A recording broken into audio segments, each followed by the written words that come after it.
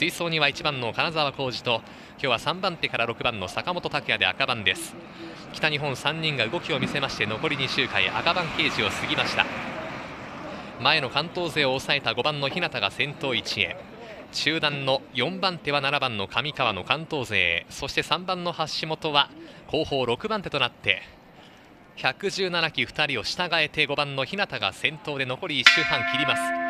中段キープは関東2人7番の上川ですが6番手から先に仕掛けたのは中部勢3番の橋本勇樹4番の村上が少し離れてしまっています。3番の橋本がジャン杉の2センターからの仕掛けで短期で先頭に立って残り1周回。北日本勢願ってもない展開で5番の日向1番の金沢4番いや6番の坂本と2番手から4番手追い上げなるかどうか。4番の村上拓磨は現在5番手で6番手で。さあ足を溜めていた7番の上川直樹ですが先頭は3番の橋本。番手に5番の日向康之がはまって外から1番の金沢浩二が追い込んで内から6番の坂本拓也。大外は7番の上川と連れて2番の甲斐康之も追い込んできた。5番の日向康之が合輪日向康之と金沢浩二最後は北日本勢。